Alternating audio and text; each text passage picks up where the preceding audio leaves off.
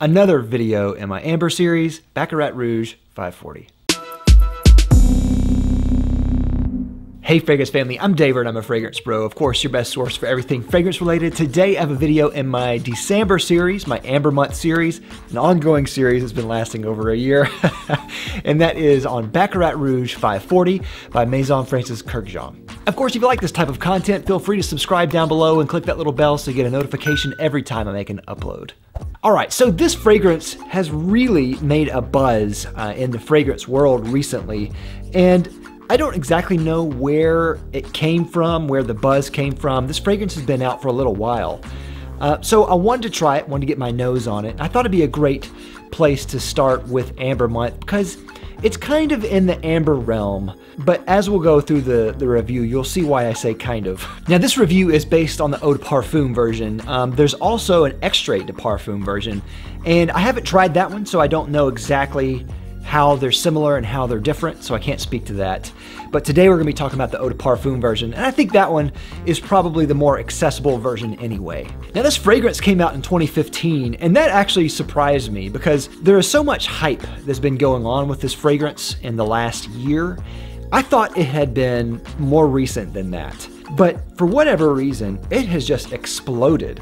I think partly because there's been a few different fragrances uh, in the niche world that has copied this, or maybe I shouldn't say copy, but they've put their own take and spin on Baccarat Rouge 540. Maybe we'll go into in a separate video. The story behind this starts with the company Baccarat, which makes some of the world's finest crystal. And on their 250th anniversary, they commissioned perfumer Maison Francis Kurkdjian to make them a fragrance, and they only released 250 bottles that was made in this Baccarat crystal, and they were $4,000 a piece. I hope it was worth it, guys. I know I didn't get one. But then, I think maybe just a year later, Maison Francis Kurkdjian released Baccarat Rouge 540, and apparently it's the same juice that was in that fragrance, but just in his line. That probably made everyone that spent $4,000 on this fragrance pretty pissed. now, I don't exactly know if they're different or if they're the same, but either way, I think that's worth mentioning. And the way that Maison Francis Kurkdjian describes this, he describes it uh, not in terms of notes, but in terms of accords. He says there's a mineral accord, he says there is a heat accord, and then he says there's a breeze accord. I think that's very interesting the way that he does that. I think it's very apropos for this fragrance because the fragrance is very different. What I think is so uh, ingenious about this fragrance is that it sits in a kind of funny spot and is very almost unrecognizable as a fragrance genre.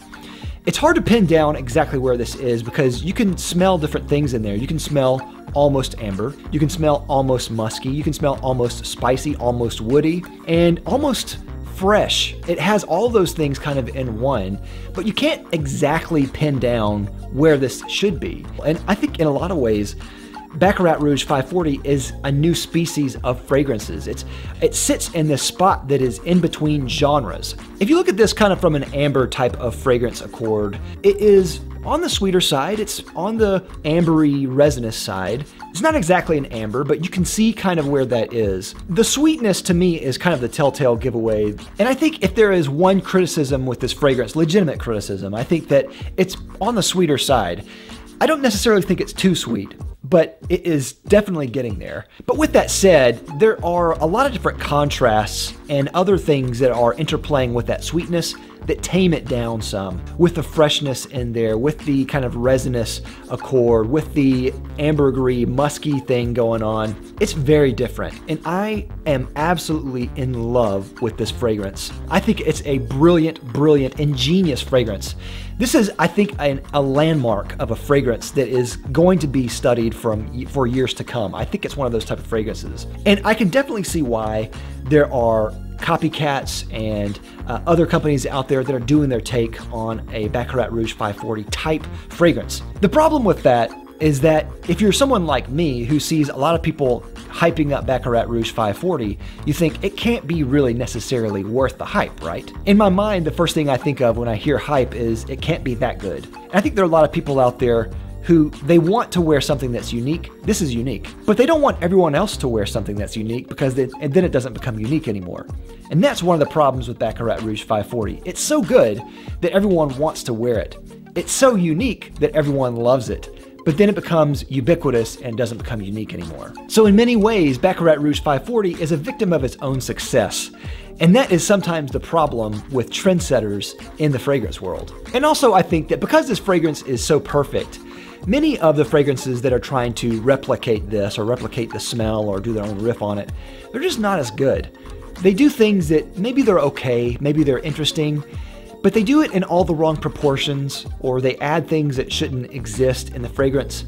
This is perfection. This is a perfect fragrance. And you can't improve upon perfection. And that's one reason why I think that this fragrance itself is being demonized in some ways because every copy of this has been bad. Or maybe not necessarily bad, but just not as good. I think Maison Francis Kurkdjian did a brilliant job with this, and I couldn't be more pleased. It's awesome. If you haven't tried it, you have got to try it. It's that good. With that, I'd like to thank my sponsor, Fragrance X. Fragrance X is an online retailer that sells thousands of legitimate fragrances for a discounted price. If you're considering buying a fragrance, definitely check out Fragrance X. I'll have a link down below to them as well as a coupon. So that's all I have for Baccarat Rouge 540. I am personally in love with it, but I'd love to know your thoughts. What do you think of Baccarat Rouge 540? Do you like it, love it, hate it? Let me know down in the comments. And of course, stay tuned for more in the Amber series. I have a few more that I want to get uh, done, so stay tuned for that. Of course, if you haven't already, please like, comment, and subscribe down below. I love you for it. I'll see you next time. I'm Dave with the Fragrance Bros. Bye.